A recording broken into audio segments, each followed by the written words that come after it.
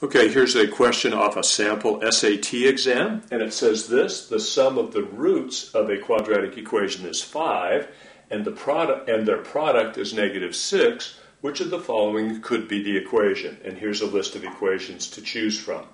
Well, the thing that you want to realize is, is that the root of an equation is the same as a solution to the equation. So a root and a solution of a quadratic equation that looks like this are the same thing.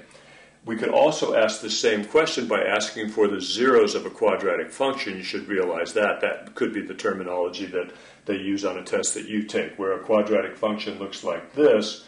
The zero of this quadratic function is the same as the solution or root of that quadratic equation. In any case, let's suppose that we have two solutions, x1 and x2, and what this says is that their sum is equal to 5, and their product which is, would be what I get when I multiply them, is negative 6. So here I have a system of equations to solve. It's not a linear system, but I can still solve it pretty easily here. I'll uh, solve this for x2. x2 is going to be equal to 5 minus x1. I'll take this expression for x2 and substitute it back in here and get x1 times 5 minus x1 is equal to negative 6. Now I'll multiply here 5x1 minus x1 squared is equal to negative 6. Okay, looks quadratic. I'll put it in standard form. I'll put 0 on this side. I'll add positive x1 squared to both sides, so I have x1 squared.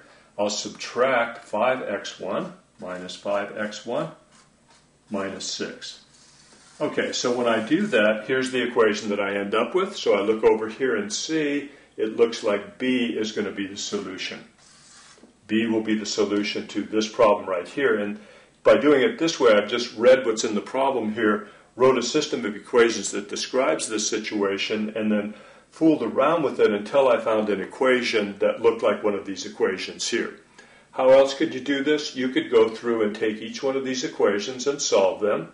For instance, I could go to this equation right here and say, hmm, I can solve that by factoring x plus 5 times x plus 1 is equal to 0.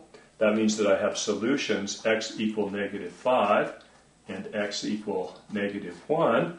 And then you take the information that's in this problem right here and summarize it with a system of equations like this. Then, by manipulating the system of equations, we end up with a quadratic equation uh, that matches one of the equations right here in the answer. So really it's a pretty straightforward process right here and a very quick solution to this as long as you know that the roots of a quadratic equation and the solutions to a quadratic equation are the same thing.